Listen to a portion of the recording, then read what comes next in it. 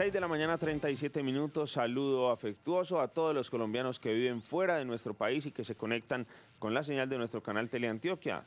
24 horas, 7 días a la semana en www.teleantioquia.com.co, pero además en los días martes a esta hora nos enlazamos con RCI Región Colombia Internacional. Y les queremos contar que para eh, efectos de controles de lavado de activos se han hecho algunos cambios en la legislación para el tema de los envíos de giros al exterior. Sin embargo, a pesar de los cambios en el sistema, este proceso es rápido y muy fácil. Los dineros tardan realmente pocas horas en llegar a su lugar de destino.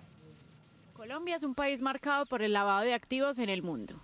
Es por eso que la legislación para hacer un giro internacional cambió, volviéndose más exigente en la cantidad de dinero que se quiere enviar y en la información que se debe dar en las oficinas de envíos. Se busca prevenir el, lavado de activos. Por eso se manejan los topes, no es porque eh, mi tío no me pueda mandar 4 mil dólares o algo así, simplemente que en este país tenemos una legislación que nos aprieta un poquito.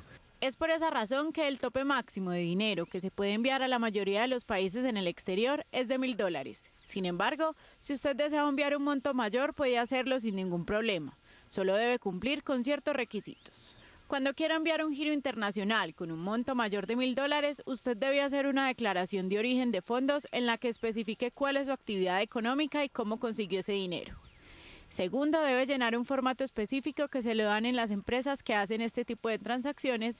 Y por último, hay que brindar cierta información sobre la persona que recibirá el dinero en las próximas horas. Todos son sistemas de control para evitar el lavado de activos. No es eh, porque el gobierno lo exija ni porque sea una limitante de nosotros, simplemente es prevención para que sigamos teniendo pues una economía como más estable sin que el dinero del narcotráfico esté penetrando a las empresas que manejan los cambios de divisas. A pesar de lo complejo que puede parecer hacer un giro al exterior, la nueva legislación ha permitido un mayor control y además ha facilitado el intercambio de dinero y la vigilancia en las remesas que llegan al país. Hoy en día enviar o recibir un giro internacional es fácil, rápido y no tiene complicación alguna, pues cualquier persona puede hacerlo y de manera inmediata.